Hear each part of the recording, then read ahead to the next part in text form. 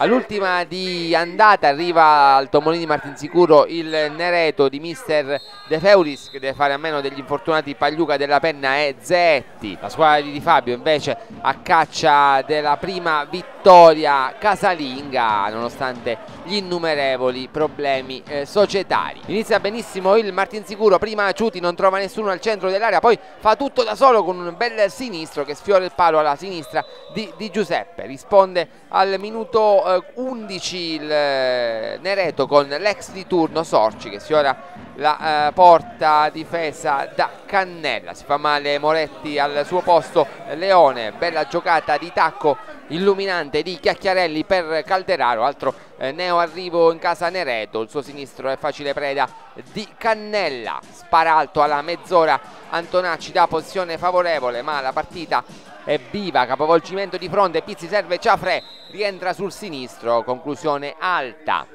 Inizio ripresa, ancora Martin Sicuro, Pizzi a tu per tu con Di Giuseppe, diagonale largo. Il gol arriva al sesto minuto, si accentra Calvaresi, poi serve Ciafre che si gira in un fazzoletto. E fredda Di Giuseppe per la rete del vantaggio, bellissimo l'abbraccio tra Emanuele Ciafre, classe 97 e il mister Di Fabio il Nereto vuole reagire dai piedi di Chiacchiarelli bell'assist per Calderaro che non aggancia. Ancora eh, Chiacchiarelli punizione calciata centro area grandi proteste dei rossoblu per credo dei tocchi di mano che l'arbitro Ameli di Teramo non rileva le immagini non chiariscono. Netto invece il fallo di Calvaresi su uno scatenato Calderaro messo giù calcio di rigore Chiacchiarelli sulla battuta gol conclusione potente. Cannella era rimasto centrale ma il Nereto perviene al pari. Martin Sicuro si rituffa in attacco con Palladini che sfiora di testa il gol del 2-1 poi bella azione di Farinelli per Ciuti salva tutto.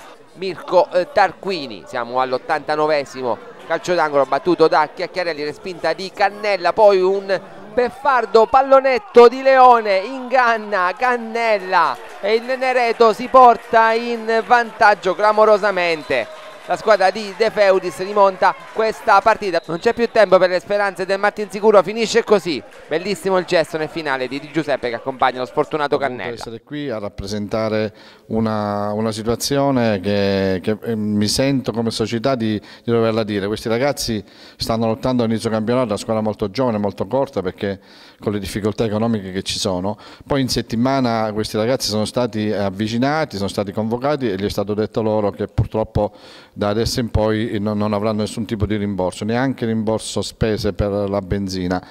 Un grosso abbraccio a questi ragazzi che in tanti rimarranno, magari qualcuno in settimana troverà altra collocazione come è giusto che sia, però oggi hanno dato una lezione a tutti. Il calcio è questo, il calcio deve essere questo, un calcio pulito fatto di passione, di voglia e di impegno. Veramente abbiamo, scusatemelo, i giocatori e i tifosi più belli del mondo.